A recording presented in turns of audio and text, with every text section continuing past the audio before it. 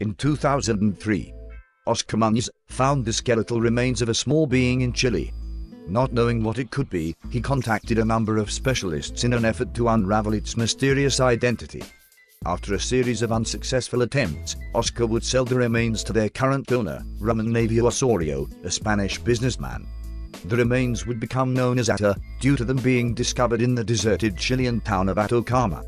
In 2009, Dr. Stephen Greer, an advocate for government disclosure pertaining to the existence of alien life and founder of the Disclosure Project, was invited to examine the mummy-like remains of the humanoid in Barcelona, Spain. By the summer of 2012, Ramon Navia Osorio graciously permitted his team to arrange tests on the humanoid-like creature. Thanks to Stephen Greer, Ata has achieved worldwide attention.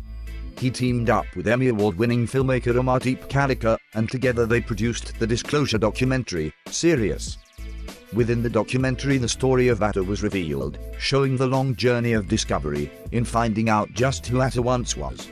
And now, finally, we know.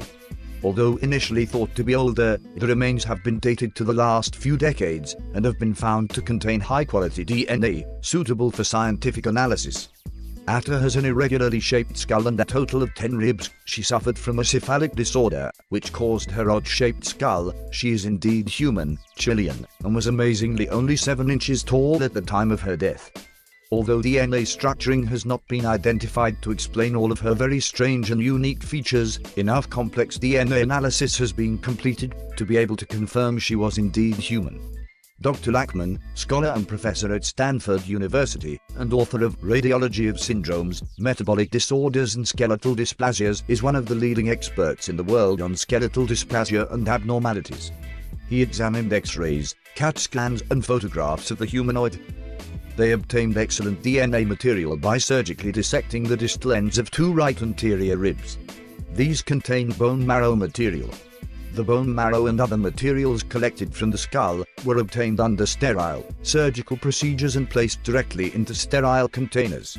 Using forensic documentation procedures, this evidence was then hand-delivered to Dr. Nolan in Washington, D.C. in October 2012, who would subsequently reveal her true identity although the fact that she is human may have been a disappointment in regards to Dr. Greer's disclosure efforts, he has undoubtedly shown the world a rather amazing individual who once lived here on Earth.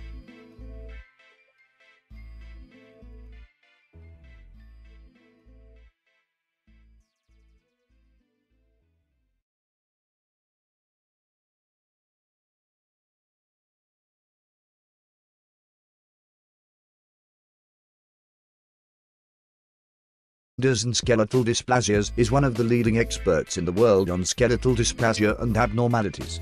He examined X-rays, CAT scans and photographs of the humanoid. They obtained excellent DNA material by surgically dissecting the distal ends of two right anterior ribs. These contain bone marrow material. The bone marrow and other materials collected from the skull were obtained under sterile surgical procedures and placed directly into sterile. In 2003, Oscar Munoz found the skeletal remains of a small being in Chile. Not knowing what it could be, he contacted a number of specialists in an effort to unravel its mysterious identity. After a series of unsuccessful attempts, Oscar would sell the remains to their current owner, Ramon Navia Osorio, a Spanish businessman. The remains would become known as Ata, due to them being discovered in the deserted Chilean town of Atacama. In 2009, Dr. Stephen Greer, an advocate for government disclosure pertaining to the existence of alien life and founder of the Disclosure Project, was invited to examine the mummy-like remains of the humanoid in Barcelona, Spain. By the summer of 2012, Ramon Navia Osorio graciously permitted his team to arrange tests on the humanoid-like creature. Thanks to Stephen Greer, Ata has achieved worldwide attention. He teamed up with Emmy Award-winning filmmaker Amardeep Kaleka, and together they produced the disclosure documentary, Sirius.